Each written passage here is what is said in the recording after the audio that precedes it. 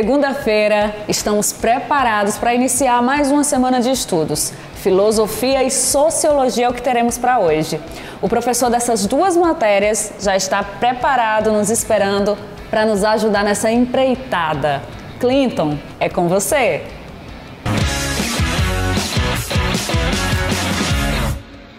Olá pessoal, sou o professor Clinton Azevedo, professor de Filosofia e Sociologia, e hoje aqui no programa Nota 10 nós vamos ter alguns conteúdos que são de extrema relevância para essa área na prova do Enem.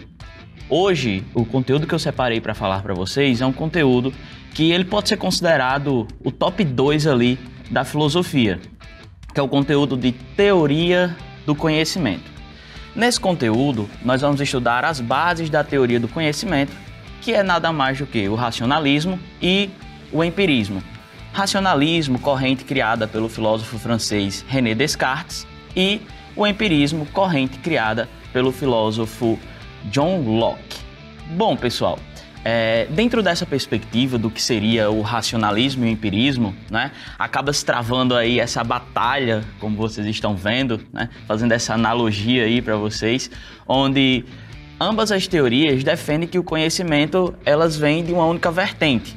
Com o racionalismo, o conhecimento ele iria acabar vindo da razão, do nosso intelecto. E com os empiristas, esse conhecimento iria acabar vindo a partir das nossas experiências, a partir dos nossos sentidos. Então, é interessante perceber que, dentro dessa doutrina do racionalismo e do empirismo, ou melhor falando, dentro dessa corrente que é a teoria do conhecimento, um dos objetivos é tentar compreender como que o indivíduo, o indivíduo consegue chegar até o conhecimento de um determinado objeto. Então, como que eu consigo chegar até o conhecimento do objeto, ok? E aí, pessoal, avançando aqui com os nossos conteúdos, nós vamos começar falando do francês, filósofo francês René Descartes, né? Que é considerado aí o pai do racionalismo moderno, né? O homem só pode alcançar a verdade pura através da sua razão e não através dos sentidos. Os sentidos não seriam uma fonte confiável de se obter o conhecimento das coisas. Né? Para o René Descartes, as verdades elas residem nas abstrações de nossas mentes e da nossa consciência, né? onde existem algumas ideias inatas. Vamos refrescar aqui um pouquinho a memória de vocês e vamos falar um pouco do que seria uma ideia inata. Ideia inata nada mais seria do que uma ideia ao qual nós já nascemos com ela. A ideia ela já está presente no nosso intelecto. Um exemplo que eu posso citar aqui para refrescar um pouco a memória de vocês seria a ideia de perfeição. Uh, nós não conseguimos, a partir da realidade a qual estamos inseridos, apontar alguma coisa perfeita. Nós não temos uma referência para o que é perfeito. Porém, né, nós sabemos o que é a perfeição e nós sabemos que muitas das coisas a qual nós vemos não são perfeitas. Então, parte do pressuposto de que a ideia de perfeição seria uma ideia inata, ela já estaria presente no nosso intelecto. Vamos guardar um pouquinho aí essa ideia de perfeição, porque nós vamos utilizar essa ideia de perfeição mais lá na frente para tentar compreender o raciocínio que o René Descartes faz, ok? Bom, o René Descartes, galera, ele fica também conhecido por conta do forte ceticismo a qual ele está ali inserido, né?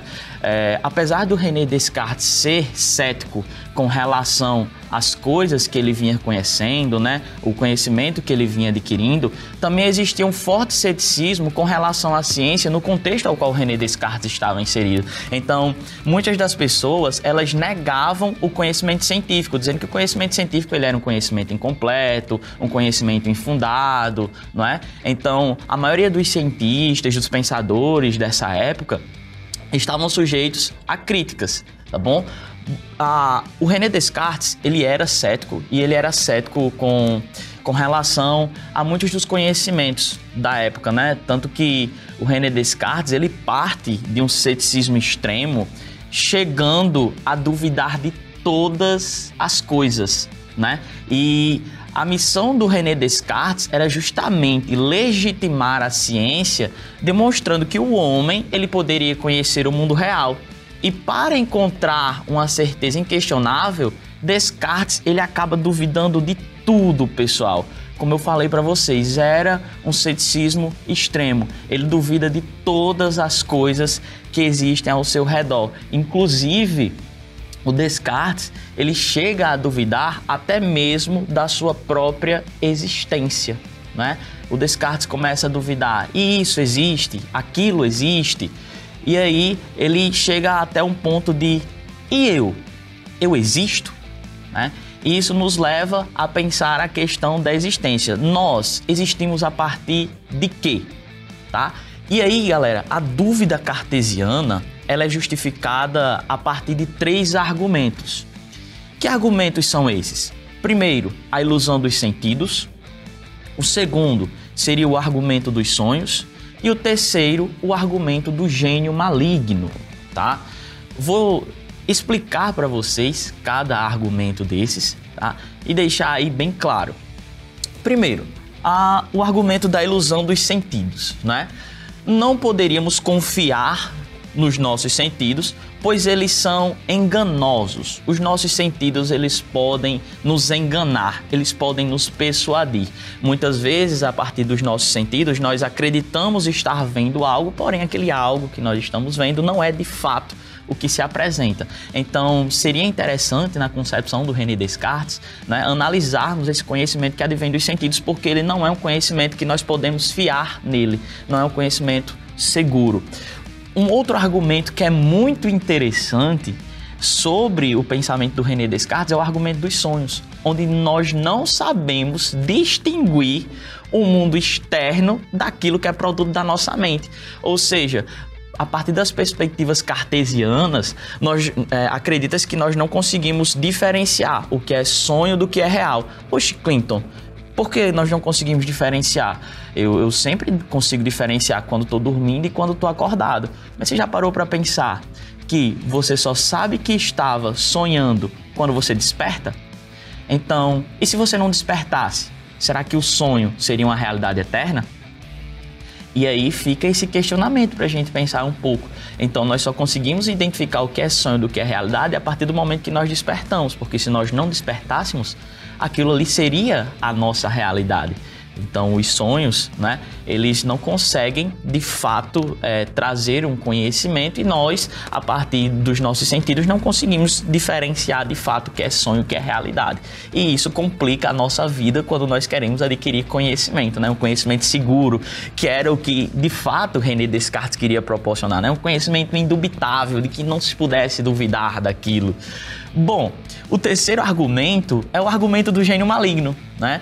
o René Descartes, né, ele pensava na existência de um deus do mal, um demônio malévolo, poderoso, astuto, que dedicava todas as suas energias, né, para enganar os homens, para enganar as pessoas. Então, esse gênio maligno, ele iria começar a fazer você pensar em coisas que não eram verdade, que não existiam, que não tinham relação com a realidade e fazer você trazer isso para a realidade. É, um exemplo disso, né? Você está sonhando aqui e de repente no sonho você tem um superpoder você, sei lá, consegue voar no seu sonho. Então, René Descartes falava: Ó, oh, isso é obra do gênio maligno tentando persuadir você, porque isso não faz parte da lógica, não faz parte da matemática, não faz parte da racionalidade. É impossível um ser humano voar, é impossível um ser humano ter esse superpoder de voar, né?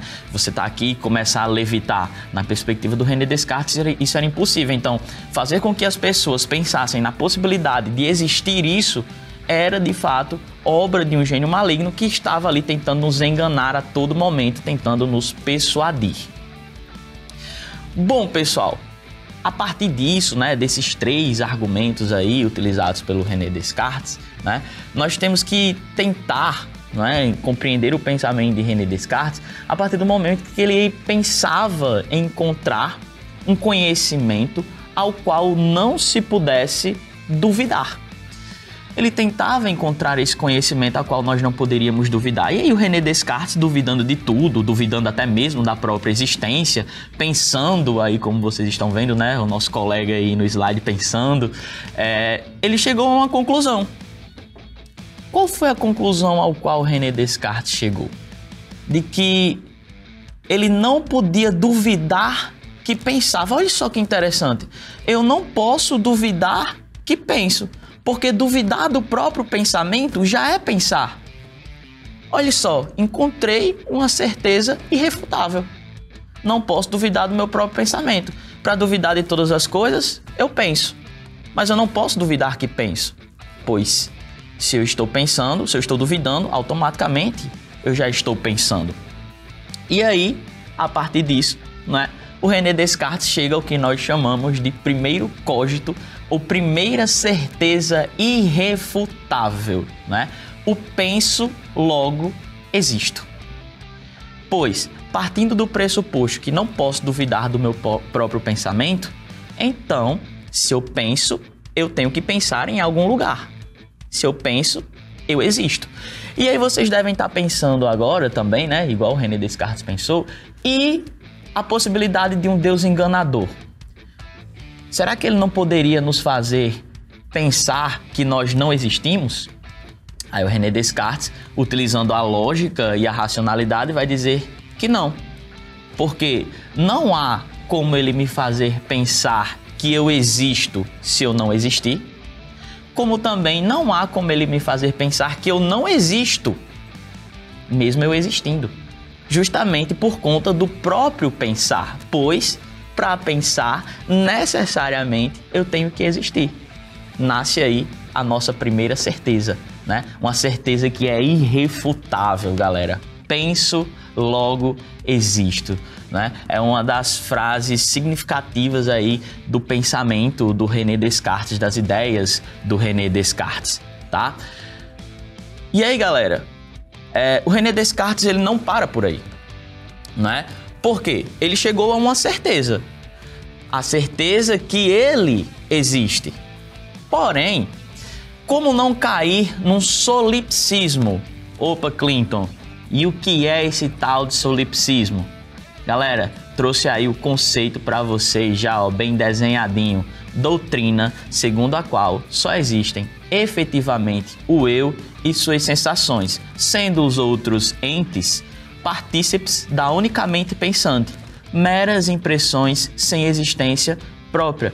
E aí, galera, isso nos leva a pensar o seguinte: o Descartes, a partir do argumento do cogito que a gente chama, né, do penso logo existo, ele cria certeza da existência do eu. Se eu penso, eu existo. Mas como que eu posso ter certeza da existência das outras coisas e das outras pessoas? Como não cair num solipsismo? Porque se só existe o eu, então quer dizer que só existe o que eu penso. Então as outras coisas seriam meras impressões do meu próprio pensamento. Então quer dizer que as outras coisas não teriam existência própria? E isso faz com que o René Descartes tente encontrar aí uma saída para esse solipsismo, né? Faz com que ele tente encontrar algo que comprove a existência do eu, mas que também comprove a existência das outras coisas. E é aí que começa a batalha do René Descartes para tentar provar a existência de tudo que existe à sua volta e não ficar preso dentro desse solipsismo. E aí, pessoal, Descartes, ele tem o objetivo de fazer o quê? De criar uma ponte, uma ponte que ligasse o pensamento subjetivo e a realidade que é objetiva, né? Ele queria fazer uma ligação da existência do eu com a existência das outras coisas. Então, ele vai afirmar que o pensamento, que é a única certeza que nós temos, ele é composto por ideias. E uma ideia, ela só seria válida na medida em que ela fosse clara e distinta o suficiente para que nós conseguíssemos diferenciar umas das outras. Então, galera, o Descartes ele vai apontar a existência de três tipos de ideias em suas teorias. Galera, vão anotando aí, porque isso é muito importante para a gente entender o pensamento do René Descartes. Então, olha só, três tipos de ideias. Que ideias são essas? As ideias inatas, as ideias adventícias e as ideias factícias ou da imaginação. Como eu falei para vocês lá no início da nossa aula, não é? O que são ideias inatas? São ideias ao qual nós já nascemos com elas, ideias que já estão presentes na nossa mente. O que são as ideias adventícias? Aí o Descartes vai chamar a atenção para essas ideias, que são aquelas ideias que nós não podemos confiar inteiramente pois são ideias que advêm dos nossos sentidos, das nossas experiências. E como é um conhecimento que advém da nossa experiência, nós não podemos fiar-se totalmente neles, pois podem ser conhecimentos enganosos. E por último, nós temos as ideias factícias ou ideias da imaginação, ou seja, são quando a partir de ideias adventícias, ideias que nós adquirimos a partir dos nossos sentidos, nós damos origem a novas ideias, ideias essas que muitas vezes fogem da lógica, da razão, da matemática, que era o que Descartes mais valorizava, tá, pessoal? E aí, galera? Chegamos aqui no nosso ponto chave, né? Olha só, Descartes ele vai trilhando um caminho até chegar no seu objetivo, né? E aí nós temos agora a prova da existência de Deus. Sim, vamos provar aqui que Deus existe a partir das perspectivas cartesianas. E aí, galera, foi a partir das ideias inatas que Descartes ele fundamentou a sua prova da existência de Deus, né? Porque a ideia de Deus ela está presente em nossa mente e a ideia que nós temos dessa entidade é que ela é perfeita, né? E aí o Descartes partindo daquela ideia de perfeição e tudo mais, né? Ele vai chegar a esse pensamento dizendo o seguinte: olha só. Uh, o ser humano por si só ele não consegue chegar a essa ideia de perfeição. Por quê? Porque ele não tem no mundo concreto uma referência para essa perfeição. Mas mesmo o ser humano não tendo no mundo concreto uma referência para essa perfeição, ele tem em sua mente a ideia de perfeição. Nesse caso, a ideia de perfeição, ela é inata. Ela já estava presente na mente do ser humano. Bom, e aí, galera, essa ideia de perfeição, na concepção do René Descartes, ela teria sido colocada no homem por Deus, que seria a grande marca do Criador em sua obra. Nesse caso, se o homem por si só não pode chegar à clara e distinta ideia de perfeição sozinho, alguém que é perfeito, que tem essa referência, deveria ter colocado essa ideia no próprio homem. Esse ser só poderia ter sido Deus. E aí, galera, a partir disso, fica provado que Deus existe e as coisas criadas por Deus também existem. Então, o que foi que o Descartes fez? Não é? Ele provou que o eu existe e, por meio de um raciocínio dedutivo, provou também a partir de premissas anteriores que Deus e o mundo existem. Olha só, primeiro Descartes, ele parte da existência do eu do pensamento. Então, se eu penso, eu existo. Se na minha mente eu tenho a ideia de perfeição, então significa que existe também um ser perfeito, pois eu preciso de uma referência para essa ideia. Se o ser humano não consegue chegar sozinho a partir da ideia de perfeição, pois ele não tem uma referência no mundo concreto, essa ideia de perfeição só pode ter sido colocada no ser humano por um ser que é perfeito. Esse ser que é perfeito só pode ser Deus, provando a existência do eu como um ser pensante que tem a ideia de perfeição que foi colocada nele por Deus, eu crio uma ponte que liga o pensamento subjetivo à realidade que é objetiva, pois se Deus, Deus existe, as coisas criadas por Deus também existem. E aí, galera, Descartes, né? Ele mostrou a partir do pensamento dedutivo a existência do homem e de Deus. E aí, desde então, o pensamento cartesiano ele foi associado a uma visão de mundo que é extremamente racionalista.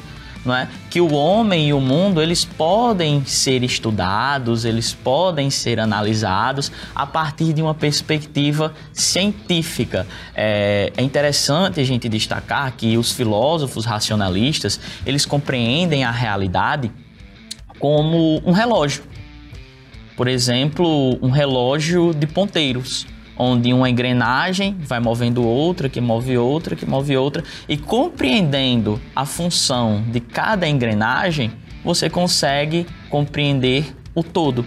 Essa era a visão e a perspectiva do René Descartes a partir dessa ideia de racionalismo, compreender partes para conseguirmos compreender o todo, o geral. A partir das pequenas partes eu consigo compreender a, as coisas em sua totalidade. Por isso que quando os Descartes ele vai desenvolver o seu pensamento, ele parte primeiro do homem, criando essa, essa ideia de que eu existo a partir do meu pensamento, para a partir disso ele provar a existência do todo, livrando-se daquele solipsismo que nós tínhamos falado um pouco mais à frente, né? Então eu consigo provar a minha existência, mas como é que eu consigo provar a existência das outras coisas? Então as outras coisas existem a partir da existência de Deus. Ah, e Deus existe?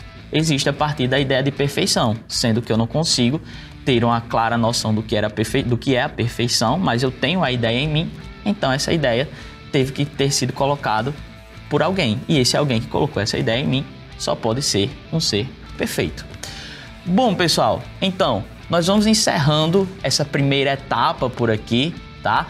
Daqui a pouco nós voltamos para dar continuidade com os nossos conteúdos e vamos compreender o pensamento que faz oposição ao racionalismo do René Descartes, que é o empirismo do filósofo John Locke e do filósofo David Hume. Valeu, galera. Até daqui a pouco.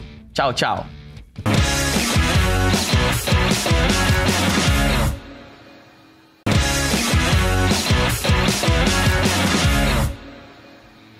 Olá pessoal, estamos de volta com os nossos conteúdos aqui de filosofia para o Enem, tá bom? E aí, pessoal, vamos aqui, né, dar uma breve recapitulada do que nós vimos no bloco anterior. Então, nós falamos um pouco do pensamento do filósofo francês René Descartes, que era um filósofo racionalista. Acreditava que todo conhecimento advém da razão, do nosso intelecto, da matemática, da lógica, ok? E nós estamos aqui analisando uma área da filosofia chamada de teoria do conhecimento que tenta compreender como que o indivíduo chega até o conhecimento de determinadas coisas, né? Como que Clinton chega até o conhecimento de que um copo é um copo, de que um caderno é um caderno. E aí nós temos essas duas visões, que é a visão racionalista, que nós vimos agora há pouco no bloco anterior, e nós temos a visão empirista, que é o que nós vamos ver a partir de agora com os nossos slides. Pessoal, esse cara aí que vocês estão vendo, né? Ele é o, o criador, de fato, dessa corrente empirista. O nome dele é o John Locke, né? Uh, o John Locke ele é considerado o pai do empirismo moderno, né? E ele foi um dos grandes influenciadores de vários outros pensadores.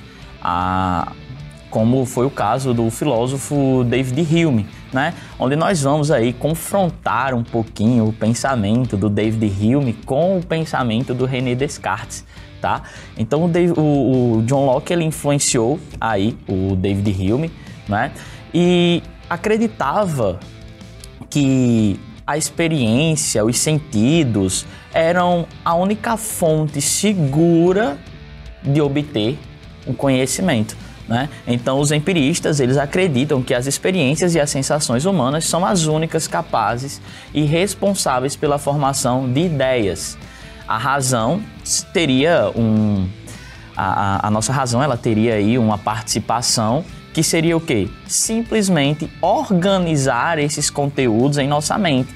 Mas a razão, na, na perspectiva desses filósofos empiristas, elas não, ela não seria uma fonte segura do conhecimento tá? E essa única fonte segura seria os sentidos, pois dentro dessa concepção dos empiristas não existem, não existem ideias sem referências. Então, eu preciso ter a experiência para que eu possa, para que eu possa ter o conhecimento da coisa em si, tá? E aí, galera, dentro dessa concepção, né, para que o indivíduo ele atinja o conhecimento de fato, né, é preciso que ele passe por experiências. Uh, vamos, vamos, deixa eu tentar citar um exemplo aqui para vocês, né? Então, imagine que uma criança, né? Uma criança está brincando lá na, na cozinha e em um determinado momento uh, ela tenta tocar em uma panela que está lá no fogão. A mãe da criança olha para a panela e diz: Ó, oh, não toca porque a panela tá quente. Panela é quente. E aí essa criança ela ainda não passou por essa experiência, então ela não sabe como é se queimar em uma panela quente. Para que ela atinja esse conhecimento, né, dentro dessa visão empirista, é necessário que ela passe por essa experiência.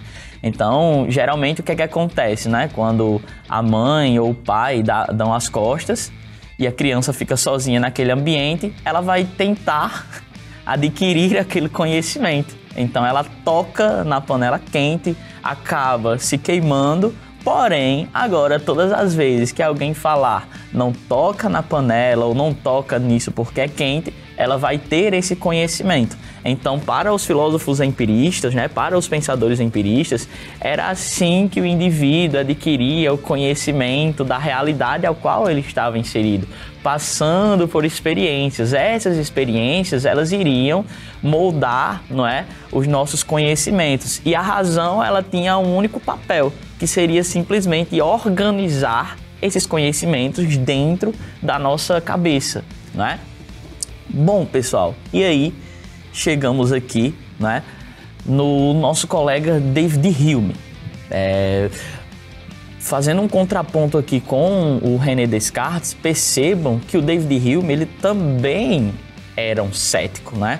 E aí vocês devem estar pensando, ah, Clinton, todo mundo era cético dentro desse contexto? Bom, pessoal, é, basta a gente pensar que o contexto ao qual eles estavam inseridos era um contexto onde existia ali uma predominância do pensamento cristão, do pensamento católico, onde a igreja dominou por várias épocas e os indivíduos eles não podiam, né, não tinham acesso a todo o conhecimento existente. Então era necessário que se duvidasse daquilo que era pregado pela igreja, né, dos dogmas religiosos, dos conhecimentos religiosos, para que se pudesse chegar a um conhecimento seguro acerca da realidade. Então, todos esses pensadores eles se preocupavam basicamente com isso, né? apesar de suas teorias divergirem em determinados momentos, eles estavam bem preocupados em encontrar um conhecimento que proporcionasse uma segurança, né? que não fosse um conhecimento enganoso, um conhecimento inseguro. Então, era bem comum que esses pensadores eles fossem céticos, né? Para quem não lembra a, a, o conceito de ceticismo, o conceito de cético, cético é aquele que duvida. Ele duvida das coisas, não é que ele fale que, que acredita ou que não acredita, ele gera dúvida. E ele só vai acreditar a partir da dúvida, quando a dúvida gerar um conhecimento seguro sobre o assunto a qual ele estava ali debatendo, o que ele estava pesquisando, tá? Então, pessoal, uh, avançando aqui um pouquinho, tá? O, o, David Hume ele era defensor do empirismo e ele afirmava que todo o processo de entendimento inicia-se com as nossas impressões. Tá? Então, na perspectiva do David Hume, não seria possível desvincular o pensamento das sensações ele vai definir que as sensações elas são as únicas capazes de serem comprovadas. E a percepção a partir das nossas sensações é a única realidade que os seres humanos eles são capazes de conhecer. Tá? Então, são a partir das impressões que nós conseguimos obter o conhecimento tá? das coisas a qual nós almejamos. Então, como é que Clinton chega ao conhecimento de um determinado assunto?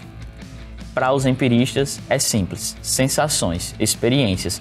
Clinton nunca vai poder ter um conhecimento daquilo a qual ele não vivenciou. Vou dar um exemplo para a gente tentar entender. É como seria Paris, né? Aí os empiristas vão partir do pressuposto de que se eu nunca fui a Paris, eu nunca vou saber como é estar em Paris.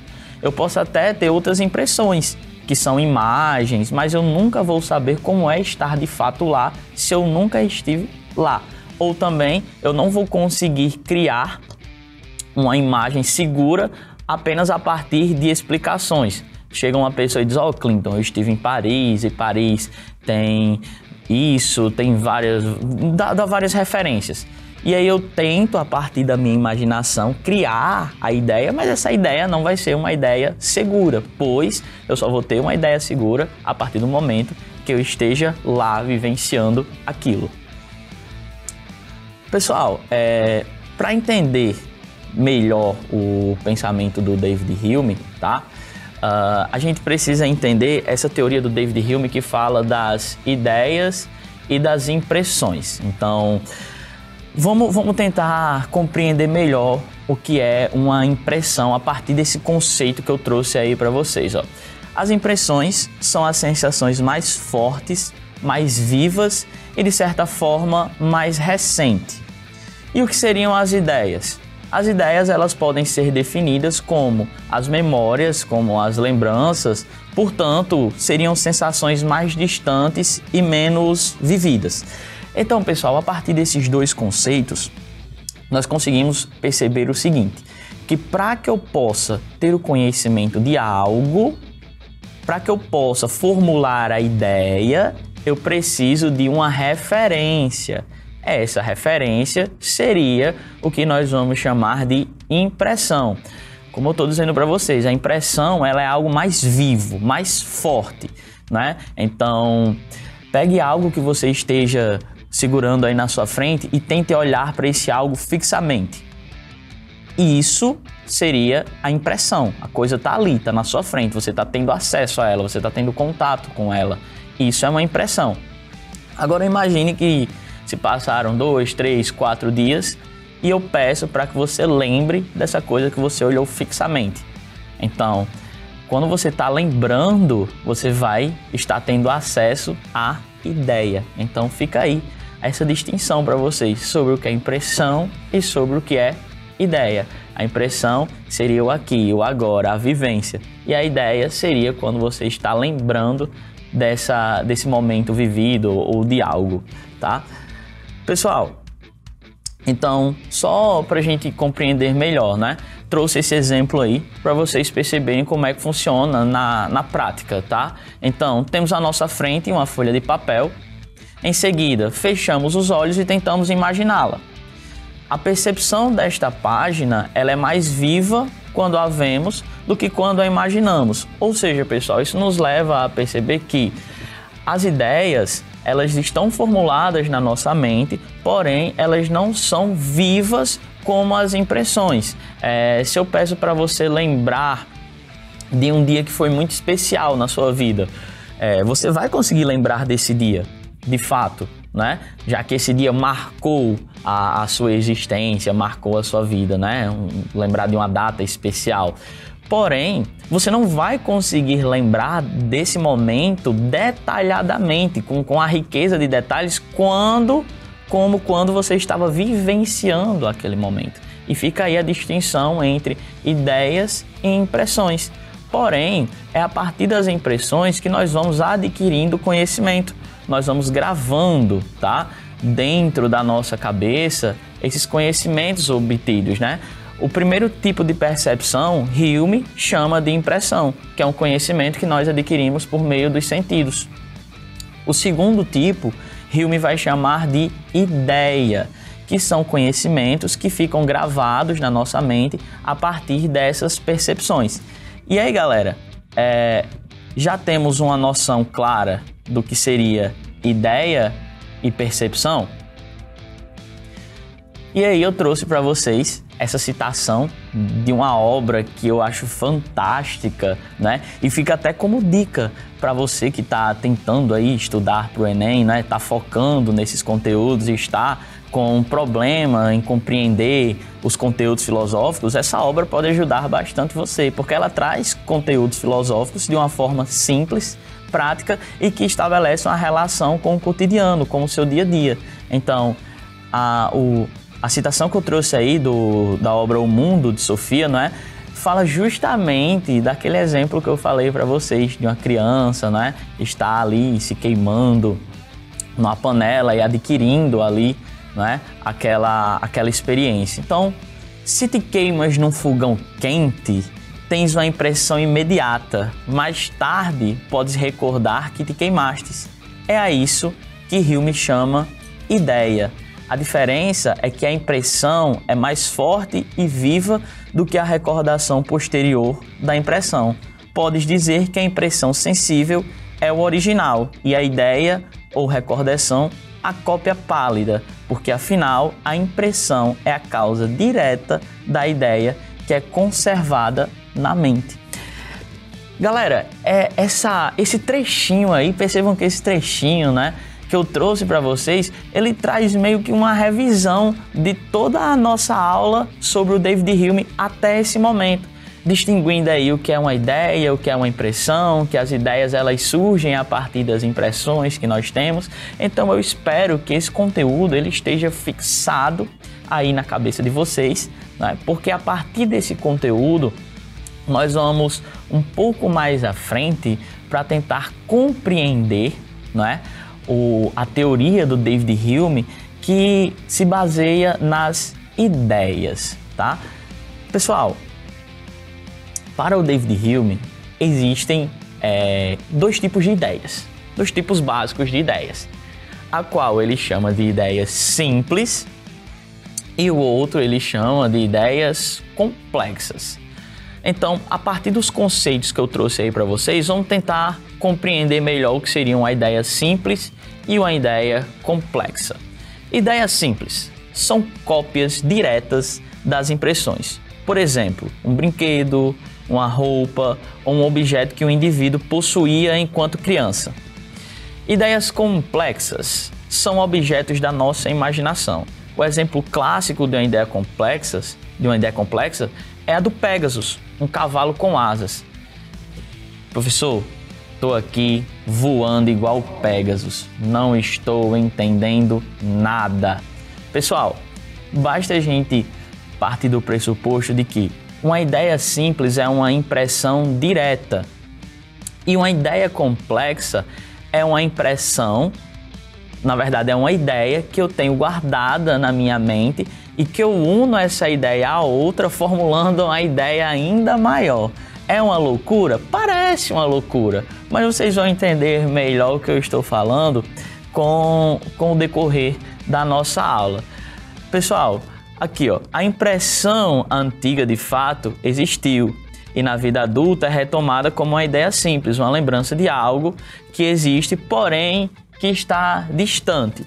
Então, vamos pensar, sei lá, se eu peço para você imaginar uma árvore, de fato você vai conseguir imaginar uma árvore. Se eu peço para você imaginar um cavalo, de fato você vai conseguir imaginar um cavalo. Não necessariamente você precisa estar olhando para o objeto para conseguir imaginá-lo, mas você só vai conseguir imaginá-lo porque você já viu esse objeto, essa coisa, esse animal.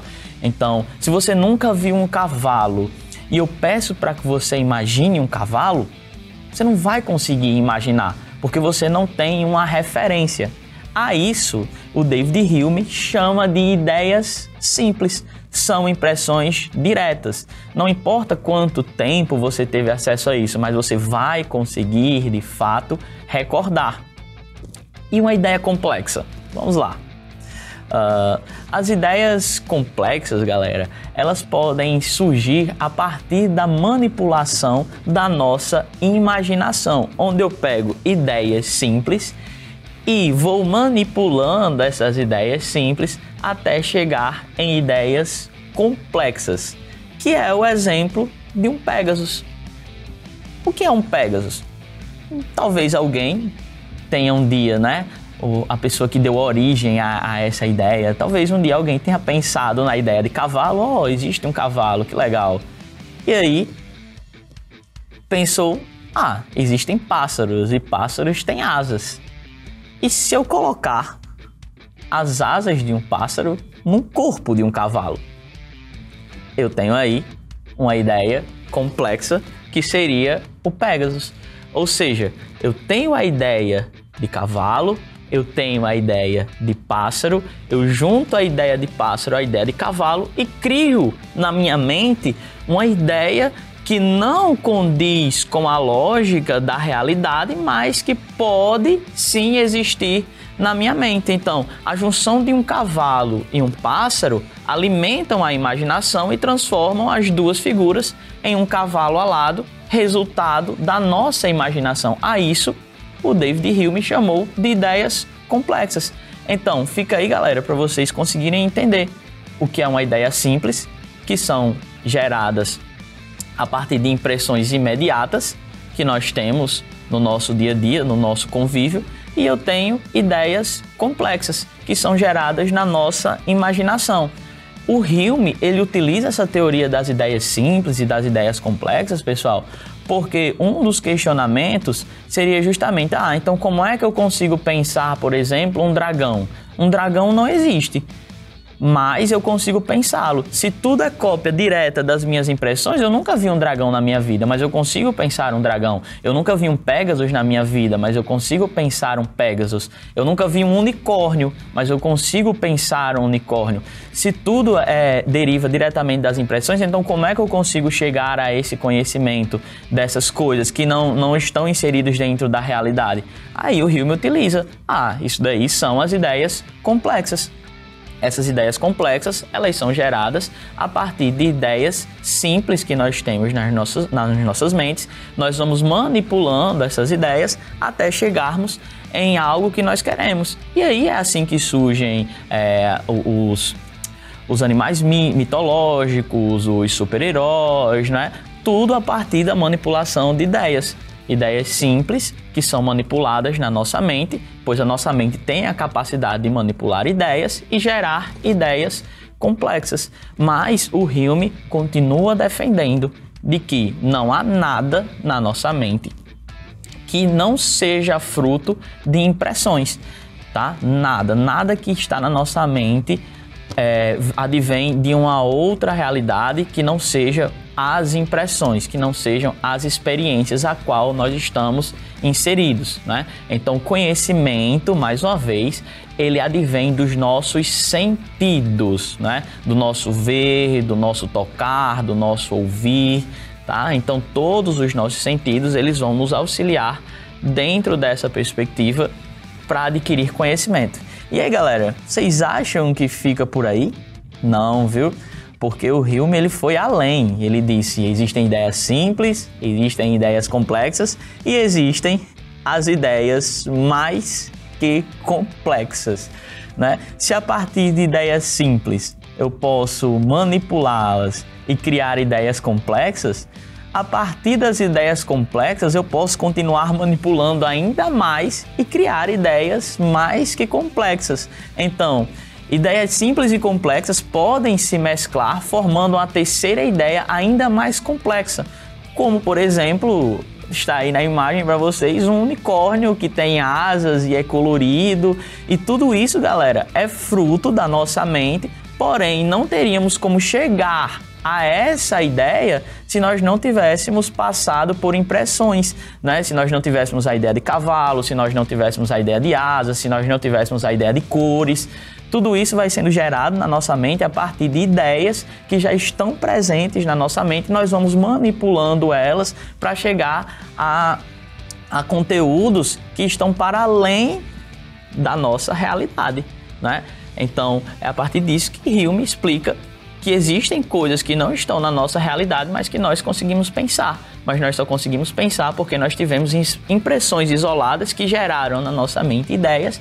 Essas ideias elas foram sendo manipuladas pela nossa imaginação até chegar nesse conteúdo que vocês estão vendo aí. Então, não é possível formular cópias sem que haja sensações ou impressões. Né? Os indivíduos eles nunca poderão produzir cópia ou impressões de algo que eles nunca vivenciaram.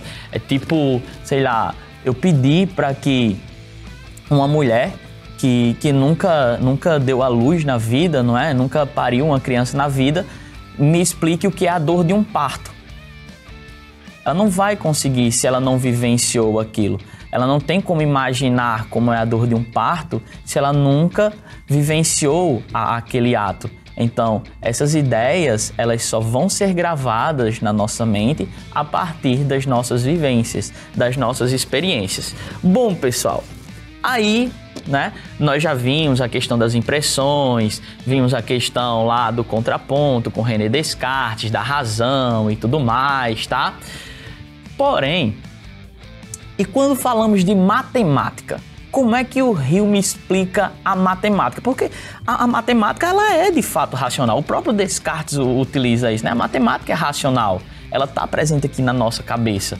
Né? E o Hume, como é a matemática? É, é uma impressão? Não, porque eu não consigo tocar, por exemplo, no numeral 2. O numeral 2 ele, ele é abstrato, não é? Ele, não, ele, é racional, ele não é físico, ele não gera uma impressão. E aí o, o Hume ele vai tentar defender né, a sua teoria, dizendo que no caso da matemática e da lógica, são conteúdos extremamente racionais. Aí você fica pensando, ah, Rio, mas e aí? Você não tinha dito que todo conhecimento advém das experiências, então como é que quando você chega na matemática você já está ali puxando para o lado da racionalidade? Como é que você explica isso? Aí o Rio vai dizer, ó, oh, mas a matemática e, e, a lógica são conhecimentos tautológicos, ou seja, não tem como você chegar a um outro resultado. O resultado delas são exato. Então, por isso que não se requer os sentidos, já que não tem um outro resultado. Então, se você for fazer um cálculo e você somar 2 mais 2, só tem um único e possível resultado. 2 mais 2 é igual a 4. Então, nesse caso em específico, você recorre à razão. Por quê? Porque é algo lógico, é algo tautológico, na verdade, né? É uma verdade que não pode ser modificada, só há um único resultado específico ali. E aí, galera, as críticas que nós podemos fazer aqui, né, entre o racionalismo e o empirismo é o seguinte: os racionalistas eles partem do pressuposto de que os sentidos não são uma fonte segura do, do conhecimento e que esses sentidos podem nos enganar. Já os empiristas, eles dizem, peraí, racionalistas, mas a razão ela acaba sendo escrava das emoções. Então, quando nós estamos afetados por algum tipo de emoção, nós não conseguimos raciocinar direito. E aí, então de onde vem o conhecimento? Bom, pessoal, ficam aí as duas vertentes para vocês, né? Da, da teoria do conhecimento, a vertente racionalista e a vertente empirista, tá bom? As suas problemáticas, ah, os seus pontos fortes e práticos. E lembrando, galera, esse é um dos conteúdos chaves para gente na prova do Enem. Vou me despedindo aqui de vocês. Tchau, pessoal, e até a próxima. Valeu!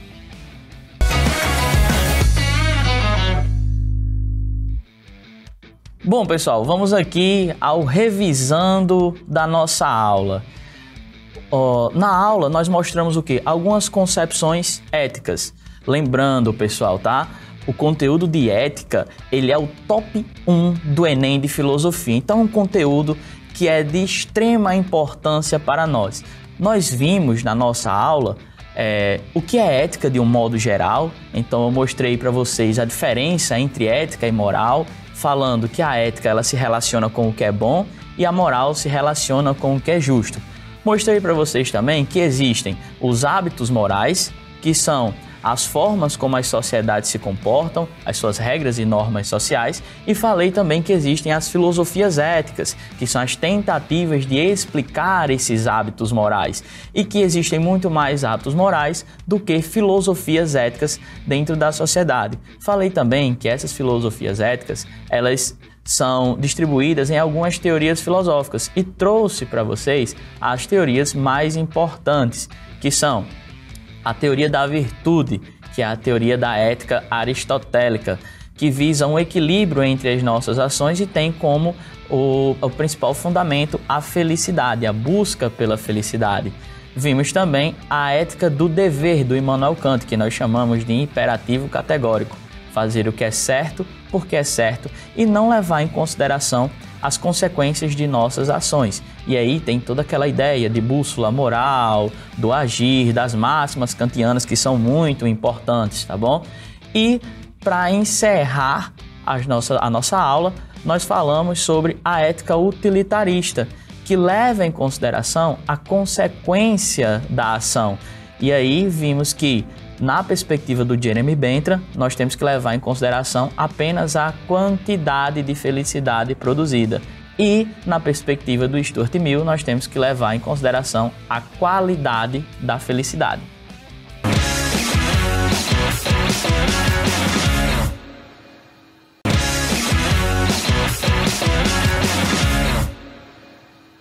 Muita gente acha a filosofia um pouco complexa, mas na verdade a filosofia é o estudo da vida real, da realidade e possui um papel muito importante na sociedade e no Enem.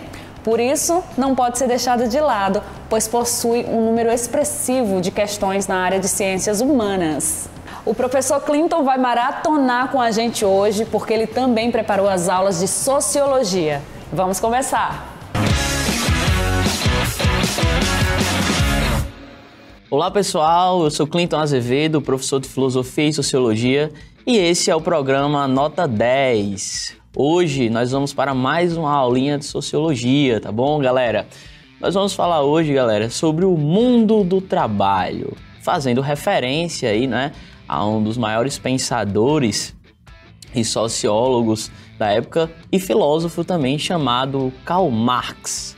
Hoje nós vamos estudar um pouco sobre o Karl Marx, tentar compreender um pouco aí as suas teorias, né? Karl Marx, que foi um dos idealizadores da, das doutrinas comunistas e socialistas, né? Teceu várias críticas sobre o, o modo de produção capitalista, não é? Onde ele tentava compreender quais seriam as melhores soluções para a classe trabalhadora, né? Fala aí um pouco da questão da alienação, materialismo histórico, materialismo dialético, fetichismo da mercadoria. Então, tudo isso, galera, nós vamos ver na nossa aula de hoje, tá bom? Galera, primeiro de tudo, Karl Marx, né, que era aí alemão, ele suas ideias constratavam, né, um pouco com as ideias do Emile Durkheim e do Augusto Comte. Porém, enquanto o, o Augusto Comte, o Emily Durkheim, acreditava que a sociologia contribuía para disciplinar o comportamento dos indivíduos, né, para tentar compreender esse comportamento e para tentar discipliná-los, né? O Augusto Comte lá com suas teorias positivistas e o Emily Durkheim com sua teoria do fato social, o Karl Marx ele acreditava que a sociologia era um objeto de revolução que dava para proporcionar revoluções, revoluções essas que iriam alterar as estruturas sociais, fazendo com que essas estruturas elas fossem válidas, fossem boas para todos os indivíduos, né?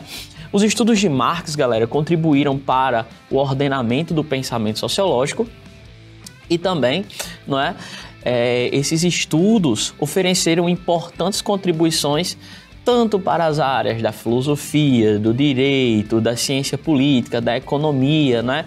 O Marx ele vai aí atuar em diversas áreas, né, da, das ciências sociais, né, e aplicadas, dando contribuições para todas essas áreas. Pessoal, o Marx ele estava ali muito envolvido nas revoluções, né, nas transformações políticas e econômicas da sua época, é, transformações essas que foram geradas por conta das revoluções, né, a dupla revolução lá que a gente, que a gente já citou, que é a Revolução Francesa e a Revolução Industrial. E aí Marx ele acompanha essa expansão, né, esse processo de expansão do capitalismo industrial que por, que por consequência vai gerar uma espécie de proletarização, ou seja, nós temos ali o avanço e o crescimento da burguesia em relação às outras classes, né? E esse avanço e crescimento da burguesia vai proporcionar um acúmulo de capital, fazendo com que os outros indivíduos da sociedade que não são proprietários dos meios de produção tenham ao seu favor única e exclusivamente a sua mão de obra, tendo que se engajar no trabalho fabril para tentar melhores condições de vida, né?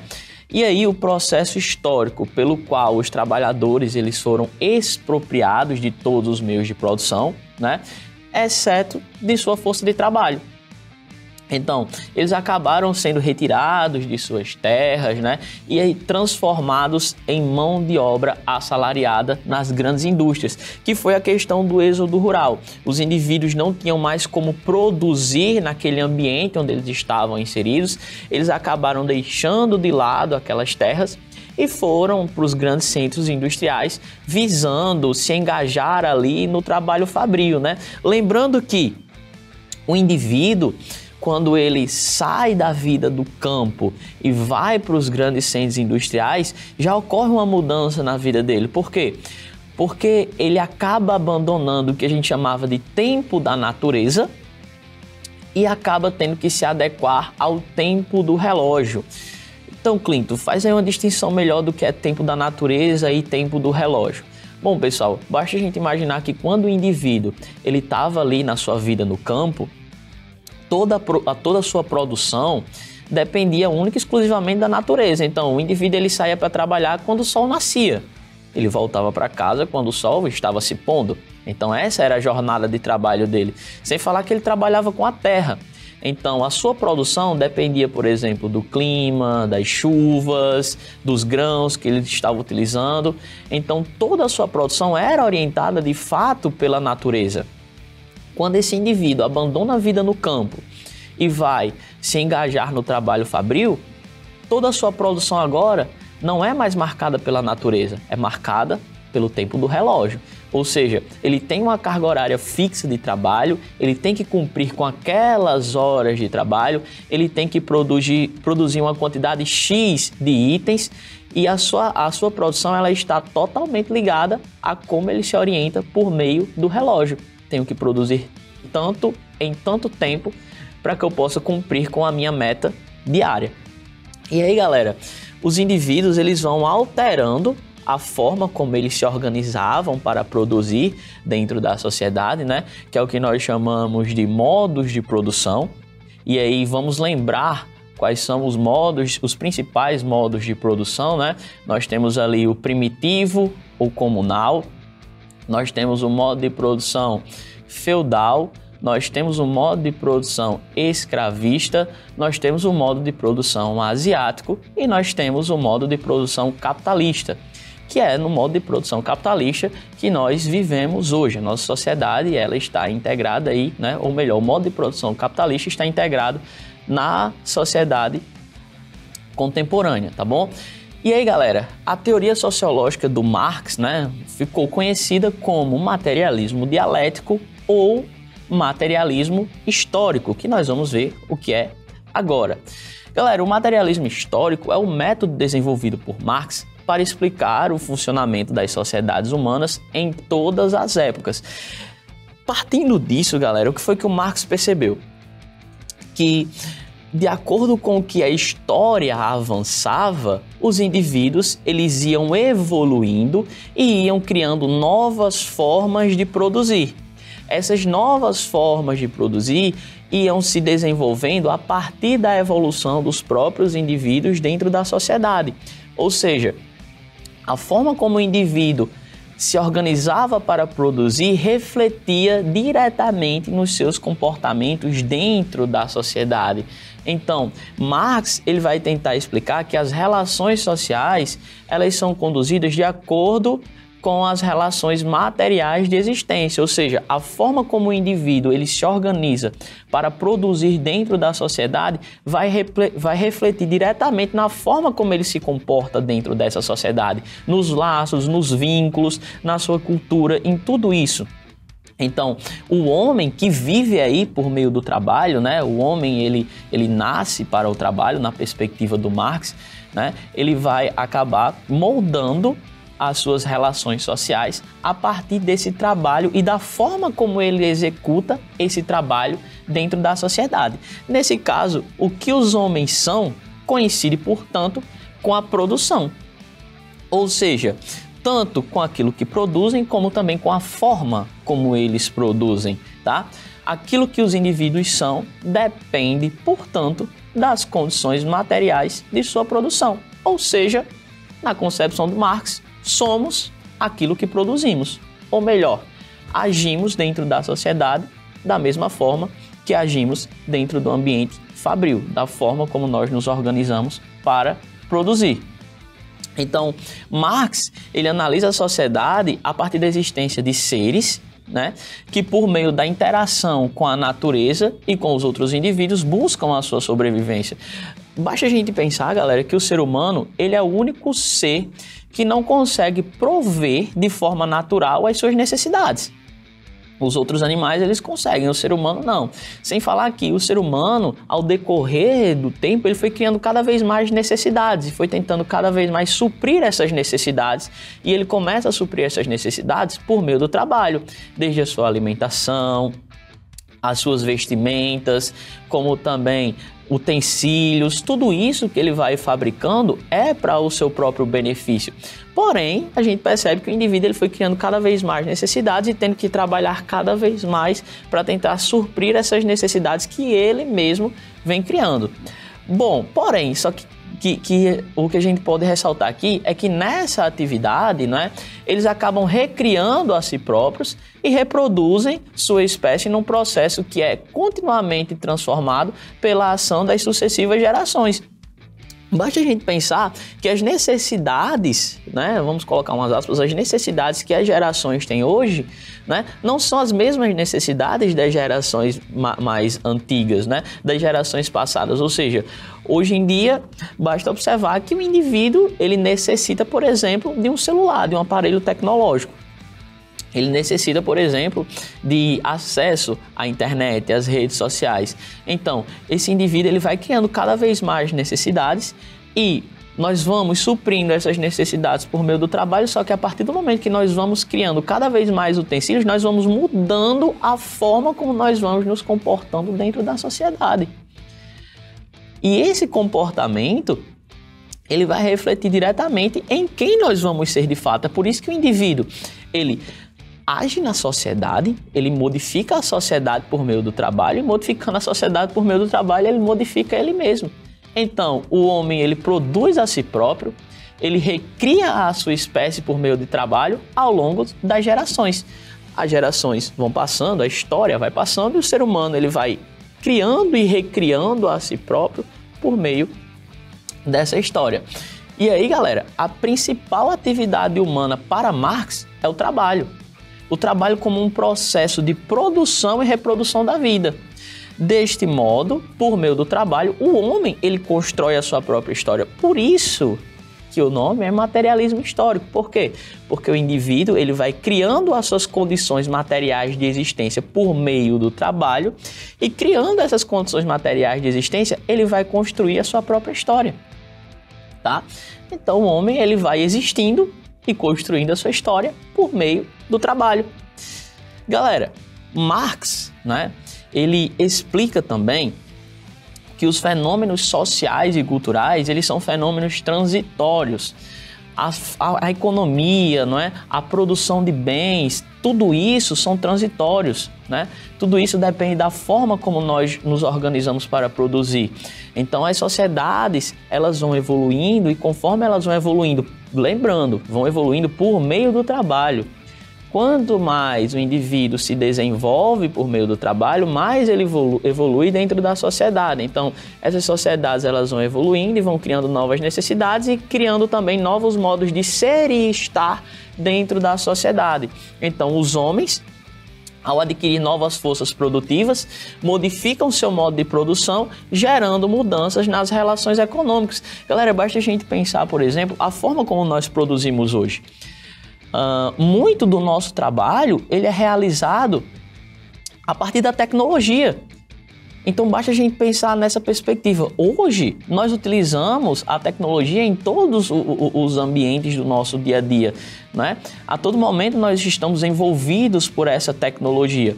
Mas por que que nós somos tão dependentes dessa tecnologia na sociedade de hoje? Porque a forma como nós produzimos é uma forma tecnológica. Então nós estendemos isso até as nossas relações sociais. A forma como nós nos comunicamos hoje é em sua maioria tecnológica. Nós nos comunicamos por redes sociais, né? Interagimos por meio de aparelhos tecnológicos, por quê?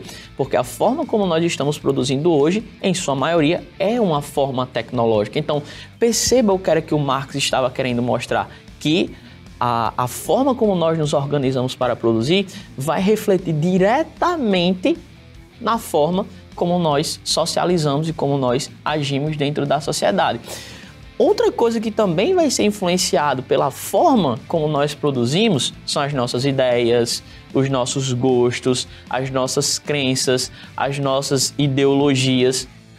Todos esses elementos eles são transitórios, tá? E eles dependem de como os indivíduos se organizam para produzir. Então, tudo aquilo que você pensa aí, todos os seus pensamentos, ideias, inovações, todos os seus gostos musicais, de arte, de cultura, tudo isso é influenciado pelo trabalho que está sendo executado dentro da sociedade e que vai influenciar diretamente nos seus comportamentos e nas suas concepções.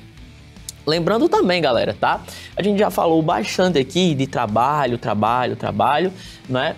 Mas se a gente for analisar diante de um fator histórico, né? Lembre-se que o trabalho, ele nem sempre teve essa conotação positiva que nós temos na sociedade de hoje, tá? Se a gente for analisar desde o contexto da Grécia Antiga até o final da Idade Média, o trabalho, ele era visto como um castigo. Tanto que só trabalhavam as pessoas inferiores, os escravos, estes eram quem realizavam o trabalho. O trabalho era visto como uma forma de castigar as pessoas, tá? Porém, a partir da revolução industrial ali, né, nas sociedades modernas, esse trabalho ele ganha uma nova conotação. Ou seja, o trabalho vai ser o quê? O trabalho vai ser aquilo que dignifica o homem, que faz o homem crescer, né? O trabalho vai proporcionar aí uma vida melhor para esse indivíduo, ou seja, o trabalho seria a fonte da salvação do indivíduo. Então perceba que o trabalho ele tem várias conotações nos diferentes tipos de sociedade. Lembrando que o Marx ele está tá falando do trabalho dentro dessa sociedade moderna e o Marx ele já percebe que esse trabalho dentro da sociedade moderna não é algo tão dignificante assim como as pessoas falam. Por quê? Porque o Marx está falando desse capitalismo industrial, desse trabalho industrial. Ele não está falando do trabalho em si. De fato, o trabalho em si transforma o indivíduo, como nós já podemos ver com a teoria do materialismo histórico. Porém, o trabalho ao qual Marx vai falar de trabalho alienado, que nós vamos estudar um pouco mais à frente, esse trabalho faz com que o indivíduo acabe se submetendo a situações que são precárias e que não favorecem o seu desenvolvimento pleno. Ok, pessoal? Bom, galera, vamos lá. O Marx, não é? Ele só reconhece dois tipos de classes sociais.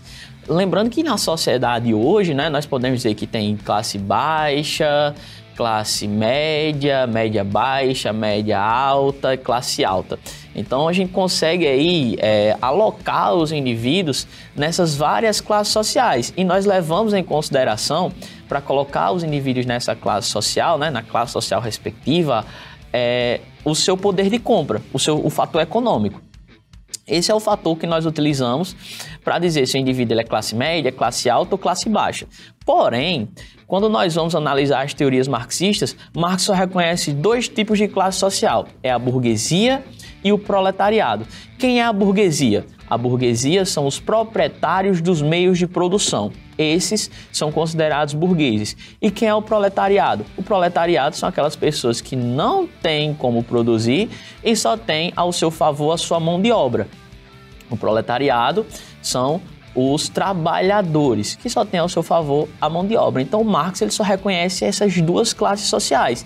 E aí, quando ele vai dar características dessas classes sociais, ele vai dizer o quê? Que a burguesia ela tomou conta dos meios de produção, enriqueceu e dominou o poder do Estado, ou seja, na concepção do Marx, a burguesia ela tem um controle político do Estado, tá? E aí, para ele, né, na concepção dele, o Estado ele acaba se tornando um escritório da burguesia. Ou seja, o Estado está lá para favorecer os burgueses e não o proletariado. É por isso que o Marx ele fala tanto de, de, de, revolução, né? dessa revolução do proletariado que a gente vai estudar um pouco mais à frente. Mas é justamente a partir dessa perspectiva. O Marx falou: a burguesia ela enriquece, ela se torna proprietária de todos os meios de produção, ela expropria o trabalhador disso, ela toma o controle do Estado, porque o Estado ele está a serviço da burguesia, porque na concepção de Marx, quem financia o Estado é a própria burguesia, porque a burguesia é a detentora do capital. Além de que ele defende que as leis elas são criadas especificamente para beneficiar as classes burguesas. Ou seja, não teria é, é, essa ideia de igualdade na concepção do Marx quando se fala de justiça. Ele fala que as leis elas são criadas justamente para propor, promover benefícios às classes burguesas. E aí, quando ele vai falar do proletariado, né, o Marx ele diz o quê? Que o proletariado nada mais é do que a classe assalariada, né? Que sem ter como produzir e sem ter voz ativa na política, né? Já que o Estado acaba sendo um escritório da burguesia, só tem uma única coisa a fazer. O que é que o proletariado vai fazer? Vai oferecer a sua força de trabalho nas fábricas, tá? Tentando ali garantir o seu sustento. Então, para Marx, a classe trabalhadora ela está alienada por que, que ela está alienada? Porque o tempo, a mercadoria e o lucro, eles pertencem à classe burguesa. Então, como a classe trabalhadora não tem tempo, não tem lucro e não tem mercadoria, acaba sendo refém de uma ideologia de dominação da classe burguesa. Por quê? Basta a gente analisar, galera, que nas, até mesmo na sociedade atual, as pessoas trabalham tanto né, que elas não têm tempo para desempenhar outras funções, elas não têm tempo, às vezes, de ficar com a família. Sem falar que essas pessoas elas trabalham, trabalham, trabalham e elas só têm o suficiente para sobreviver. Às vezes nem têm o suficiente para sobreviver, né? E outra concepção é que a mercadoria que essa classe produz não é dela. Então, olha só um exemplo. Imagine uma pessoa que produz celulares, trabalha numa indústria de produzir celulares. Os celulares que ela está produzindo não é dela. Ela produz, mas a ela nada pertence, né? E é a partir daí, galera, que o Marx, visando essa revolução do proletariado, né? Ele vai partir do pressuposto de que se a classe proletariada tudo produz, a ela tudo pertence. Por quê? Se parar para pensar dentro de uma perspectiva marxista, uh, a burguesia ela não consegue produzir sem a mão de obra do proletariado. Então, quem é que produz? Quem produz é a classe trabalhadora, mas a classe trabalhadora não tem o produto, não é detentora do produto. Ela apenas oferta a sua força de trabalho, a sua mão de obra, em prol de um salário, tá? Um salário esse que a partir desse salário vai tentar suprir as suas necessidades. E como o tempo, a mercadoria e o lucro pertencem à classe burguesa, essa classe trabalhadora acaba se tornando alienada. Porque tenta, por meio desse trabalho, suprir essas necessidades, tendo em vista que essas necessidades elas não conseguem ser supridas em sua totalidade, porque sempre vão estar sendo criadas novas necessidades e elas não terão o capital suficiente para propor uma, uma qualidade melhor de vida. Sem falar que elas também não terão o tempo para usufruir até mesmo do capital que eles conquistaram. Ok, pessoal? Bom, galera, então nós vamos fazer uma breve pausa aqui. Vou chamar aí os nossos comerciais tá? E no segundo bloco, nós voltamos aqui para concluir né, as teorias marxistas e a nossa aula sobre o Karl Marx. Valeu, galera!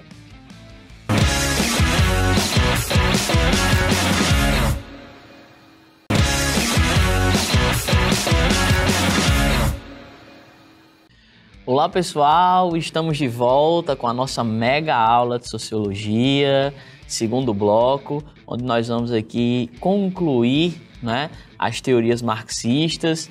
E vamos lá, galera. Então, no primeiro bloco, o que foi que a gente viu? Nós vimos no primeiro bloco a questão do pensamento marxista, né, e uma das suas principais teorias, que era o materialismo histórico. Lembrando que, em se tratando do materialismo histórico, nada mais é do que a forma como os indivíduos se organizam para produzir, né, ou se organizaram para produzir no decorrer da história, refletem justamente suas ações dentro da sociedade. Os indivíduos se organizam para produzir de modo a qual esse modo vai afetar dentro da sociedade. Então, eles produzem a si mesmo por meio do trabalho e produzem também a sociedade. Nós vimos também, galera, no bloco anterior que Marx ele só reconhecia duas classes sociais. Essas seriam a burguesia e o proletariado. Burguesia, que era detentora dos meios, que é, na verdade, né, a detentora dos meios de produção, e o proletariado, que fica aí a cargo, que tem à sua disposição apenas a sua mão de obra. Dando continuidade, galera, nós vamos perceber o seguinte: as desigualdades sociais elas são provocadas pelas relações de produção na concepção do Marx. Por quê? Porque olha só, se a burguesia ela tem à sua disposição o tempo, o lucro e a mercadoria, o que é que o proletariado tem? O proletariado só tem a sua mão de obra. Então, fica aí a burguesia podendo viver de uma forma mais tranquila, enquanto o proletariado teria ali que sobreviver, né? Uh, o capitalismo, né, as noções capitalistas, nós já vimos que eles se dividem em proprietários dos meios de produção e não proprietários dos meios de produção. O que são meios de produção? Meios de produção é tudo aquilo que nós utilizamos para produzir, tá? Isso são meios de produção. Matéria-prima, é, mão de obra, instrumentos de trabalho, tudo isso são os meios de produção que nós utilizamos, tá? Galera, então, as relações entre as classes, elas são de oposição. Por quê? Porque o, o, a burguesia ela faz uma pressão no proletariado e o proletariado ele tenta resistir a essa pressão, essa pressão ou opressão realizada pela burguesia, né? Então essas relações elas são de oposição, antagonismo, exploração, mas olha só, de complementariedade. Como assim, Clinton? Como é que as classes elas são opostas, elas são antagônicas, uma delas é explorada e a outra é exploradora, mas elas se complementam? Simples, galera. Dentro desse contexto, não existe burguesia sem proletariado e não existe proletariado sem burguesia, tá? Os interesses dessas classes são inconciliáveis. Enquanto a burguesia explora a classe trabalhadora na concepção do Marx, a classe trabalhadora fica tentando encontrar meios para não ser explorada. Então, essas classes, elas são complementares, elas se complementam. Não existe burguesia sem proletariado, não existe proletariado sem burguesia. Uma existe por conta da outra. E aí, galera, o surgimento da propriedade privada, a história do homem e a história da, da humanidade é a história da luta de classes. Em todos os contextos históricos, você vai perceber que sempre teve aquela classe que domina e sempre teve aquela classe que era dominada. A classe dominada sempre tentou sobressair com relação aos dominadores e os dominadores sempre, sempre exerceram a ideologia de dominação sobre essas classes. E é interessante, galera, a gente pensar sobre o termo ideologia na perspectiva do Marx, né? O que é a ideologia para o Marx? A ideologia, galera, nada mais é, na perspectiva marxista, do que um instrumento utilizado pela burguesia para fazer com que os trabalhadores não percebam que estão sendo explorados, ou seja, uma cortina de fumaça que faz com que os indivíduos eles não percebam que estão sendo explorados e que, acima de tudo, dependem dos burgueses para produzir. Ou seja, faz-se compreender que sem os burgueses não há como produzir e sem essa produção não tem economia. Então, essa é uma ideologia de, de dominação que a burguesia exerce sobre o proletariado fazendo para que eles se rendam de fato, né? E não contestem as explorações a qual eles são submetidos. Bom, pessoal, assim Marx, né? Fala, ele distingue, na verdade, ele diferencia dois tipos de classes.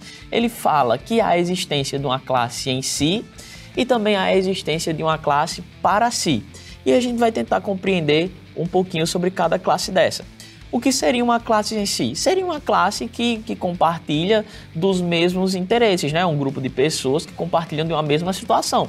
Por exemplo, basta a gente pensar que o proletariado seria uma classe em si, porque o proletariado com, é, é, compartilha de uma mesma situação ali, né? E a burguesia seria outra classe em si, porque também compartilha de uma mesma situação. Porém, Marx fala de uma, da existência, né, ou da possibilidade da existência de uma classe para si.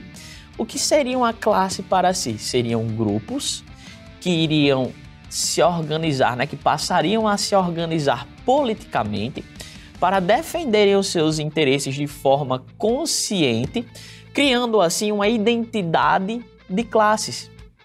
Né? Marx chamava muita atenção para essa identidade de classe.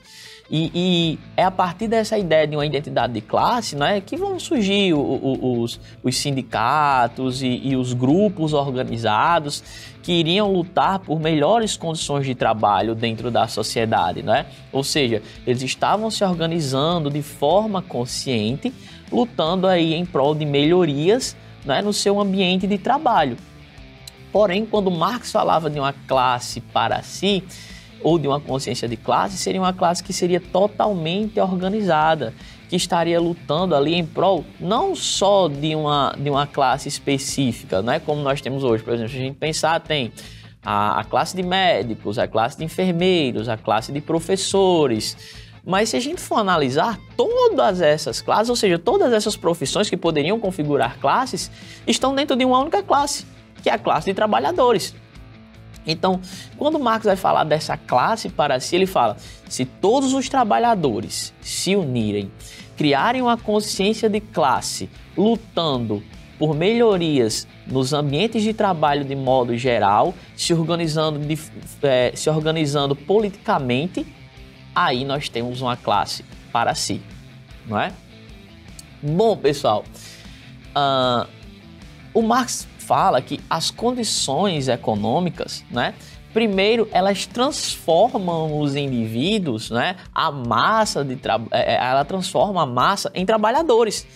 Ou seja, quando a gente estava falando lá, existe a classe em si e a classe para si. Então, grupos que compartilham de uma mesma situação. Então, nós temos ali burguesia, proletariado, classe para si, criar uma identidade de classes.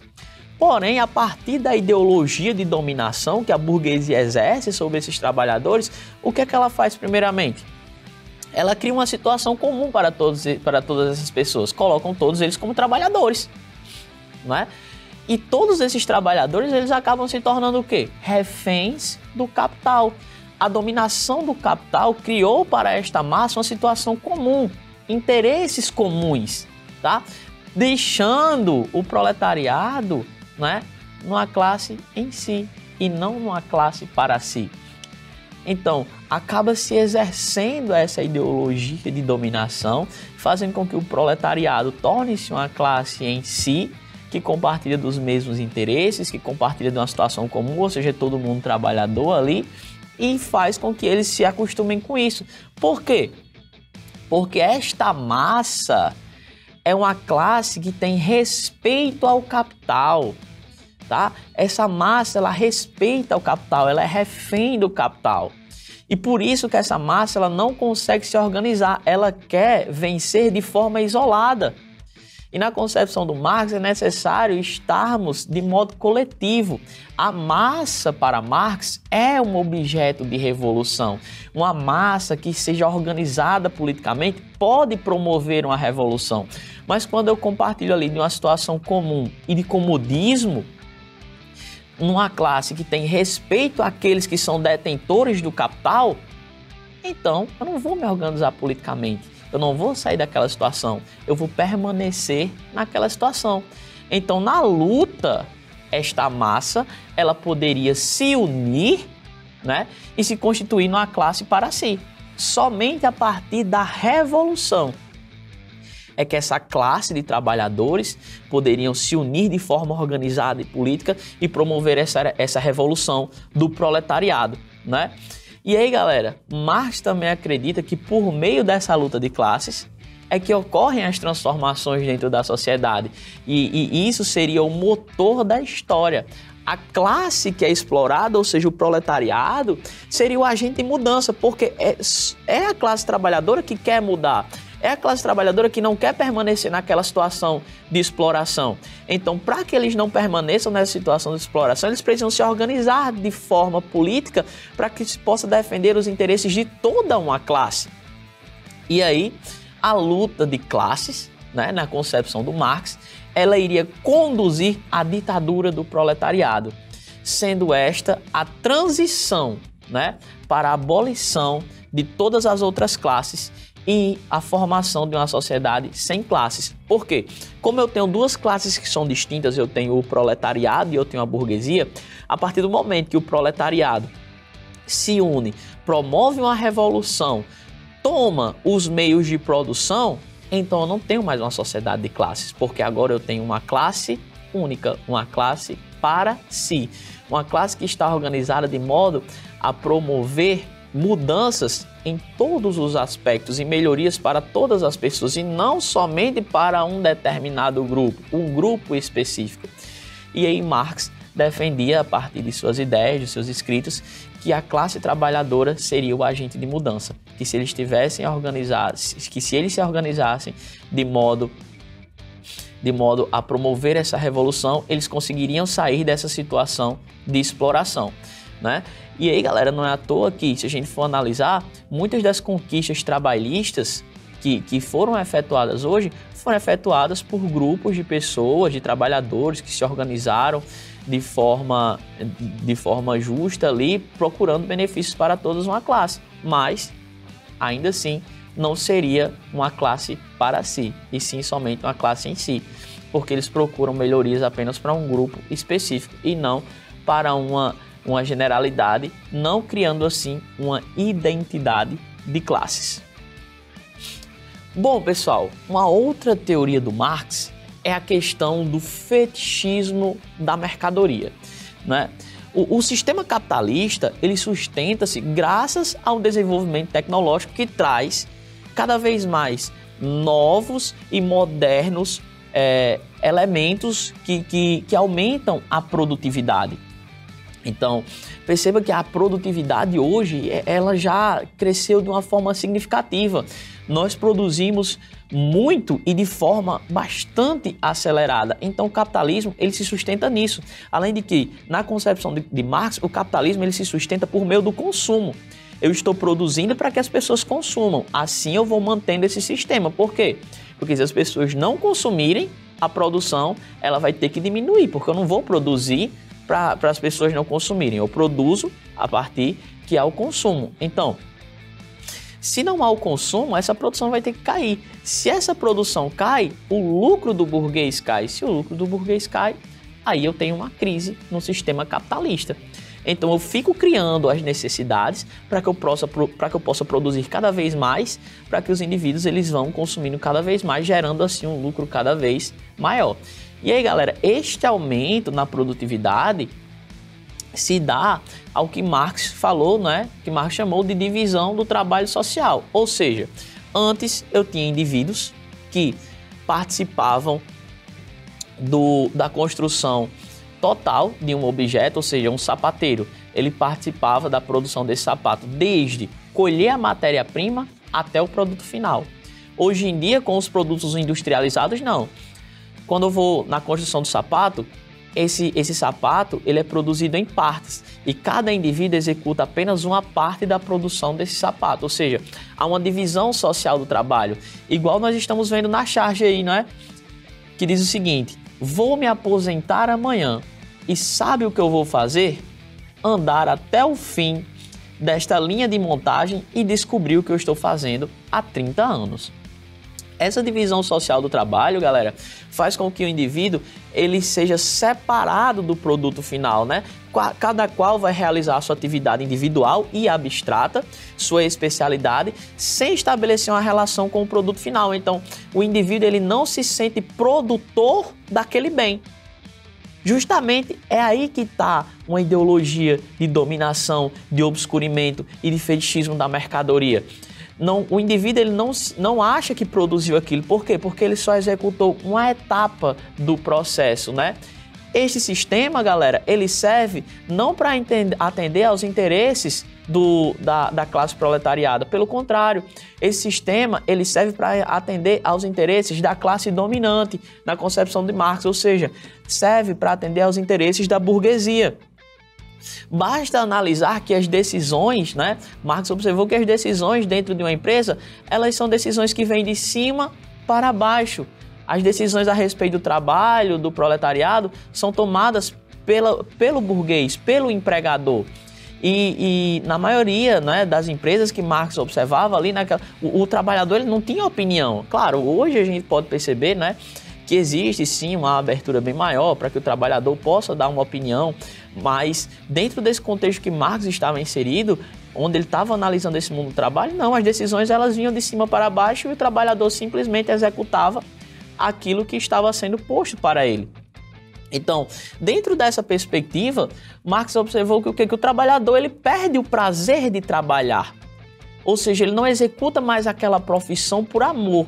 Ele não trabalha mais porque ele gosta de trabalhar, porque aquilo vai dignificá-lo. Não. Ele trabalha simplesmente para obter o capital que te sustenta. E o indivíduo ele acaba por se tornar o quê? Um apêndice da máquina, que pode ser facilmente substituído.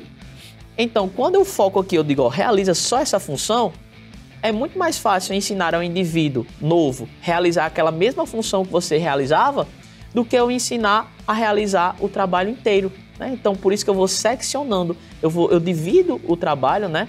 eu vou dividindo em etapas, coloco o indivíduo para executar apenas uma etapa desse trabalho e quando eu precisar substituí-lo, é bem mais fácil substituí-lo porque eu vou ter que ensinar apenas uma etapa do trabalho, ok? E aí, o trabalhador está alienado do produto de seu trabalho. Tá? Não é o produto que depende do trabalhador. Dentro dessa ideologia de dominação, desse fetichismo da mercadoria, né, é o trabalhador que acaba dependendo do produto, tá bom? E aí, galera, o produto ele parece ter surgido, né? Por isso que o trabalhador ele depende do produto, porque o produto parece ter surgido independente do, do trabalhador, né? Como se fosse uma espécie de feitiço. Né? As mercadorias dentro desse sistema capitalista, galera, ocultam as relações de exploração do trabalho. Elas não deixam com que o indivíduo ele perceba que está sendo explorado dentro dessa relação. E aí o fetismo da mercadoria é essa espécie de obscurimento das percepções, como se a exploração ela não ocorresse dentro dessas relações de produção, né? E que o indivíduo ele tinha ali que produzir daquela forma que estava sendo posta para ele. Pessoal, então, uma, uma outra teoria do Karl Marx, e muito importante também, né, é a teoria da mais-valia. Galera, no sistema capitalista, o trabalhador ele vende a sua força de trabalho como uma mercadoria.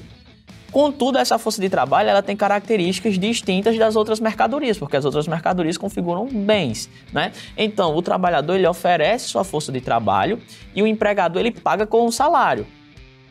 E aí, ao que parece, né, tem uma espécie de igualdade. Estabelecemos uma relação de produção e dá-se a ideia de uma igualdade.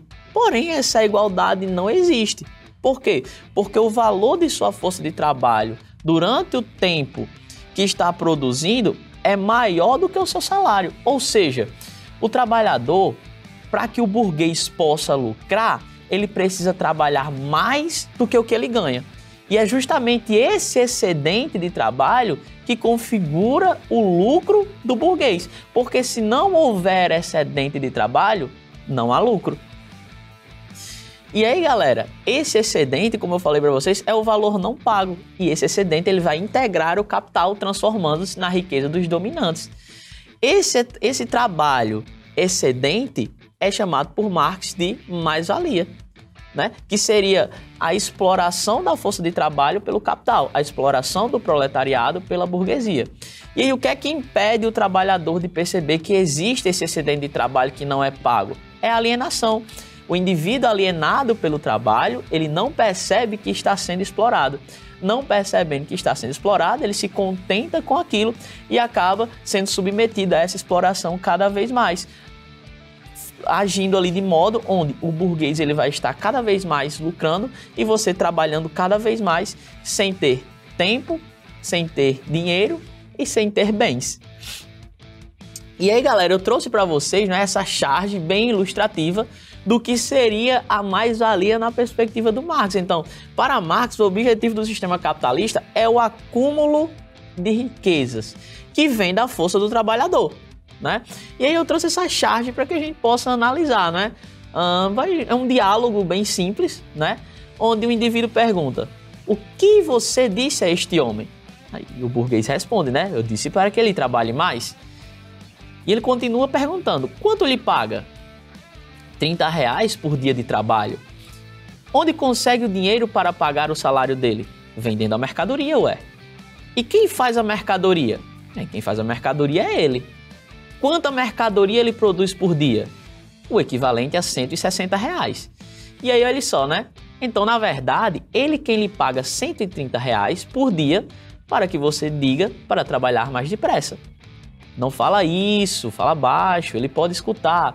Ou seja, galera, esse excedente de trabalho é o que configura o lucro do burguês na perspectiva do Marx. E o indivíduo ele acaba não percebendo essa situação de exploração porque ele está sendo alienado. Então, a mercadoria pertence ao burguês, o tempo pertence ao burguês e o capital pertence ao burguês. Mas quem é que gera a mercadoria e quem é que gera o capital? É o trabalhador. E foi justamente isso que o Marx percebeu. Mais uma vez, se a classe proletariada tudo produz, a ela tudo pertence. Se o trabalhador é quem produz, então por que, que o burguês fica com a maior parte? Essa era a indagação de Marx. Né?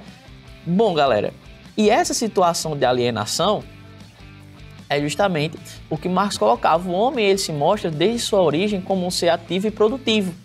A capacidade ativa e produtiva do homem se realiza no trabalho. Mediante o trabalho, o homem transforma a natureza e transforma a si mesmo.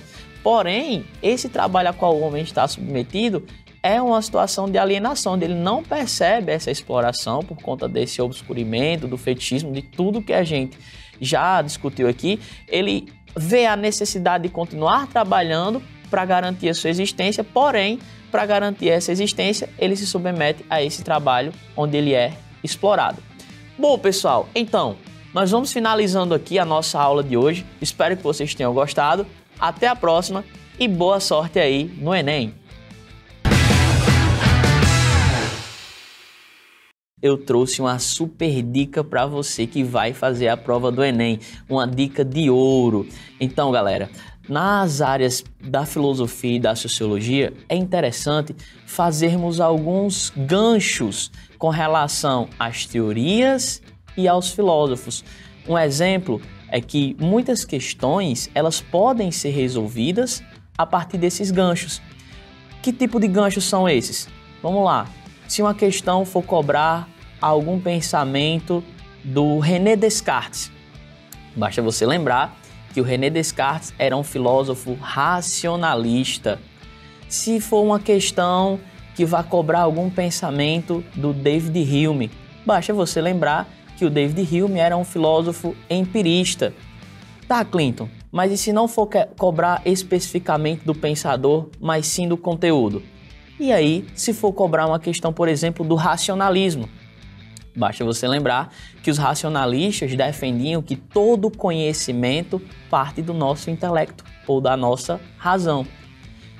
A exemplo, os empiristas, todo conhecimento parte dos nossos sentidos, no caso, visão, audição, tato, olfato, paladar e assim sucessivamente. Então, dentro dessas características e desses conhecimentos, esses ganchos, eles podem atuar de forma significativa na hora de resolvermos algumas questões, ou até mesmo quando der alguma espécie de branco, eu posso utilizar esses ganchos para que eu possa estar tá estabelecendo links e conseguindo aí fazer ou acertar um maior número de questões. Bom, pessoal, espero que vocês tenham gostado da dica e até a próxima. O nosso programa fica por aqui e eu te encontro no próximo, pois teremos aula de Física e Química. Prepare-se, hein?